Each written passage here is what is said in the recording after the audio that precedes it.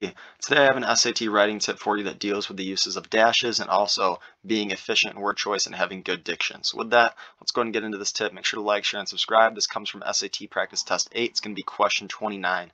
So let's take a look at it. If we read our sentence, we have champions of court reporting though, are you the opposite, right? And then we see we have they are you, which is obviously an immediate red flag to me because I know I just said champions of court reporting, which is they, and I say are you right here. So saying they are you again is obviously something I want to get rid of because that's wordy. So immediately I see that as a red flag. I look at my question, I see I have which choice most effectively combines a sentence as at the underlined portion. So obviously I want to get rid of they are you. So I don't want to have that. I see I have their opinion. Once again, that's really similar to their are to they are you. That's really repetitive, redundant. I don't want to use that. It's too wordy. So I can go ahead and get rid of D. I look at C. I have which is. Once again, kind of wordy. So I'm going to put a dash by it because I obviously don't want to use it because it already appears wordy, but I'll look at A and B, make sure they're grammatically correct. And if they are, I can go ahead and eliminate C for being wordy. So let's take a look at it. So we got champions of court reporting though. Are you the opposite? Well, what is the opposite? It's that with increased reliance on technology, errors actually increase. So I see I don't even need they are you. I also don't need which is. So I see that that will for sure be wordy, and there's definitely a more efficient way to say it. So I don't want to use C. C is obviously going to be wrong. Next, I look at A and I look at B.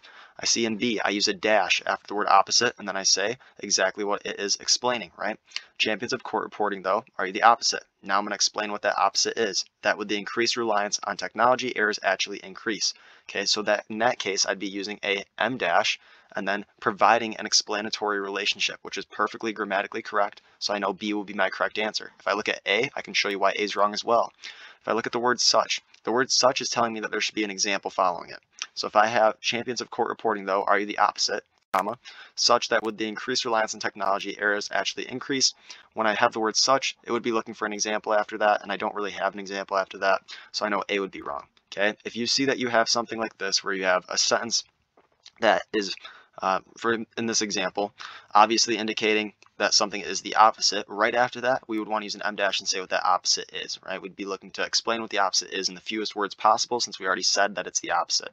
So you could go ahead and infer um, what it's going to be because it says that it's the opposite. Obviously, you need the context from the paragraph above it.